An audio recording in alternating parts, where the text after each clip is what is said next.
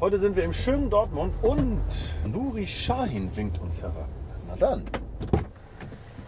Nuri, Hallo Sebastian, dass ich Sie hier treffe. wie Das geht's? ist ja verrückt. Sehr gut. Und selbst? Alles gut, ja? Ja? Ja. Nuri, 40 Kilometer Luftlinie vom Signal Iduna Park geboren. Was bedeutet Heimat für dich? Heimat, ja, Wohlfühlen. Meiner sagen Dortmund. Das ist Heimat für mich, ja.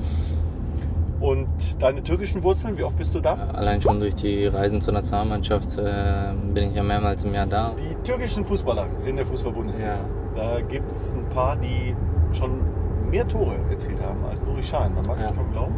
Die Rangliste, haben Sie die drauf? Wer hat die meisten? Halil, oder? Gut, sehr gut. 58. Dann Puh. hier die Reihe. Ah, echt? Hat Was der mehr? Tore als ich? 32. Das ist ja Wahnsinn. Ja. Erdal Keser? Na, Doch, 27. aber die Ex-Dortmunder. kriege ich ja noch. Ja, das wäre jetzt meine nächste Frage gewesen. 20, kann das sein? 27? Sie Ich? haben 18. 18 habe ich? Ja. Nee. Doch? Okay. Ja, okay. Dauert nicht mal lange, habe ich dir.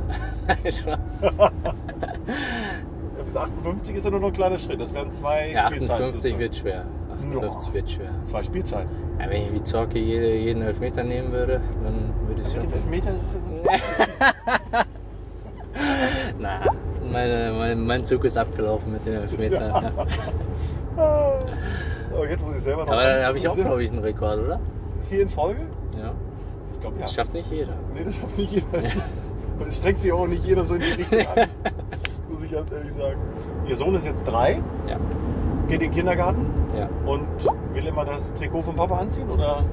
Ah, hat ein, der hat einige Trikots. Er hat ein Trikot von Marco, äh, ein Trikot von mir und auch sein eigenes. Im Moment trägt er sein eigenes. Da steht sein eigener Name drauf. Das findet er am besten. Wenn Marco Reus, ist ein gutes Stichwort, zu Ihnen kommt und äh, sie fragt, Nuri, sag mal ein paar gute Argumente, warum ich bleiben soll. Ja, es gibt viele gute Spieler, aber Marco ist ein Spieler, der immer das 1-0, also fast immer das 1-0 macht und torgefährlich ist und da wird es sehr, sehr gute Angebote geben. Ich kriege das ja auch mit aus der Presse und wenn Marco mich fragt, klar, gibt es äh, tausend Argumente, warum man bei Borussia bleiben soll, aber das muss er selber für sich entscheiden. Nur aus der Presse natürlich.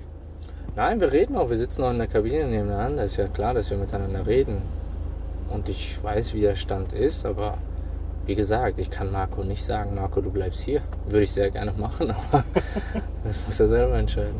Was für ein Gefühl haben Sie denn? Geht er oder bleibt er? Ich denke, dass er bleiben wird. Sie haben in Feyenoord gespielt, Real, Liverpool. Warum ist Dortmund der beste Verein? Ich habe mein erstes Derby mit 12 gespielt, ähm, mein erstes Tor für Borussia im Derby in der C-Jugend geschossen.